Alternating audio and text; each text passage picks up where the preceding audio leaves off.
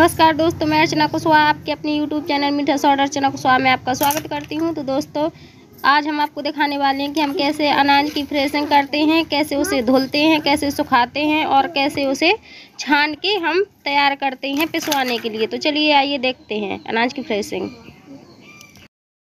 तो दोस्तों, जैसा कि आप देख सकते हो कि इसमें हमारा जो चेहरा है वो दिखाई नहीं दे रहा, क्योंकि मैंने कैमरा रख दिया था, इसके बाद वो बैक कैमरा चालू था और मुझे पता ही नहीं चला कि इसमें हमारा मतलब चेहरा आ रहा है कि नहीं आ रहा है। इसके बाद जब मैंने देखा तो अब मैं कैमरा करके ऐसे दिखाना चाहती हूँ आपको कि हम लोग कैसे अनाज धोते हैं। ये हमने बोरी उड़ेल दी उसी में टब में और इसके बाद हम ऐसे राउंड राउंड घुमा के मिट्टी को घोल रहे हैं उसी में और दिखाती हूँ मैं आपको और पास से।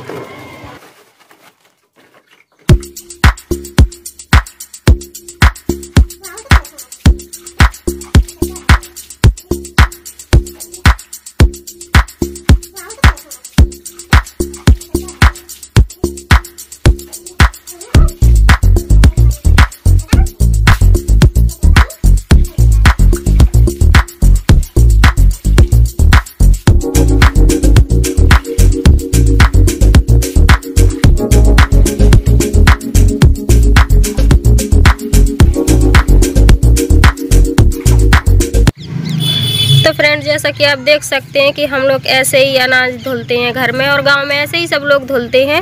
तो अब मैं आपको दिखाना चाहती हूँ कि हमने ऐसे डलिए में डाला और यहाँ पे उड़ेल दिया ताकि जो इसका एक्स्ट्रा पानी है वो भी निकल जाए, फिर इसको हम धूप में सुखाएँगे चार पाई डाल के और छत में भी सुखा देते हैं।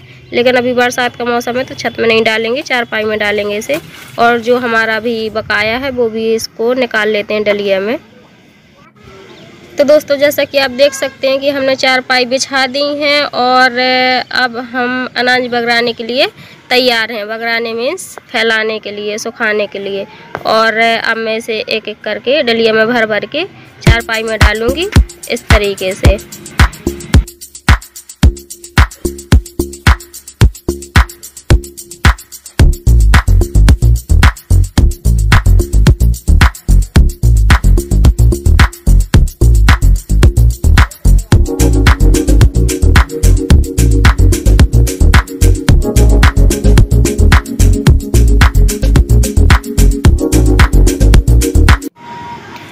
फ्रेंड्स मुझे इस चीज़ का बहुत बुरा लग रहा है कि मेरा चेहरा नहीं आ पा रहा है वीडियो में और मैं कोशिश भी करती रही हूँ, लेकिन मुझे पता ही नहीं चला कि उसमें चेहरा नहीं आ रहा है। और क्या करूँ, कोई ऐसा है भी नहीं जो मेरा कैमरा पकड़ सके। मैं एक जगह रख देती हूँ, इसके बाद ही ब्लॉग बनाती हूँ। अगर आपको ब्लॉग अच्छा ना लगे तो उसके लिए सॉरी, और अच्छा लगे तो लाइक ज़रूर करना। और दिखाती हूँ मैं आपको कि ऐसे हम एक एक डलिया में भर के और चार पाई में डाल रहे हैं ना, जिसके बाद इसे हाथों से फैला देंगे। देख सकते हैं आप लोग कि यहाँ पे मेरी मम्मी जो कोने में फैला रही है और अब मैं कैमरा रख के जा रही हूँ अनाज को, देखिए इस प्रकार से राउंड राउंड करके और पूरी चार पाई में फैला देना है। अब ये ऐसे सूखेगा, इसमें दिन में दो चार बार हाथ भी घुमाते रहिएगा।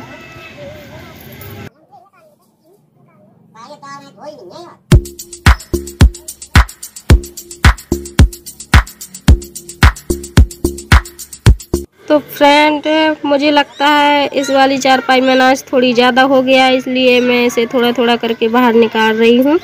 क्योंकि अगर वो मोटा है तो फिर सूख नहीं पाएगा, क्योंकि हवा चल रही है, बरसात का मौसम है ठंडी ठंडी हवा चल रही तो वो सूखने की वजह वो ऐसे ही बना रहेगा और फूल जाएगा।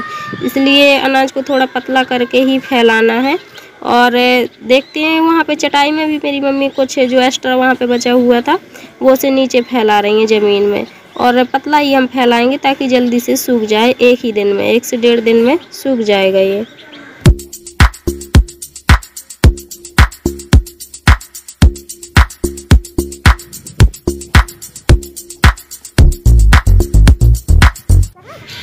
तो दोस्तों, मैं कोशिश करती हूँ कि मैं अच्छा से अच्छा ब्लॉग बनाऊँ अच्छा से अच्छा वीडियो बनाऊँ, लेकिन अगर फिर भी नहीं बन पाता है तो आप कमेंट करिएगा। मैं कोशिश करूँगी और अच्छा बनाने के लिए।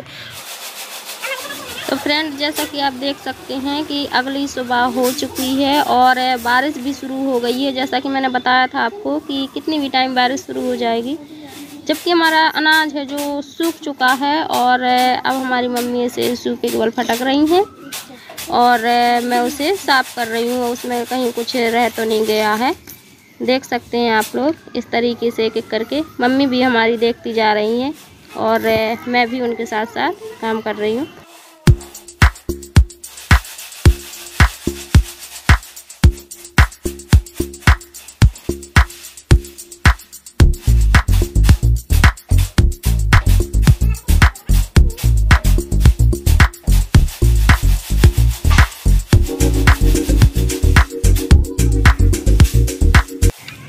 बात मैं और आप लोगों को बता देना चाहती हूँ कि जो शहरों में बोरियों में आटा आता है, मिल वाला, वो शायद इतनी अच्छी तरह से फ्रेश होके तो नहीं आता होगा, जितनी अच्छी तरह से हम अनाज को फ्रेश करते हैं, साफ़ करते हैं और फिर पिसवाते हैं। ये एकदम बिल्कुल शुद्ध रोटी बनती है इसमें और वो मिलावटी होता है, पता नहीं कैसा तो मैं सभी को यही कहूँगी कि अपना अनाज खुद से धुल के ही पिसवाएँ, जो सेहत के लिए अच्छा रहेगा।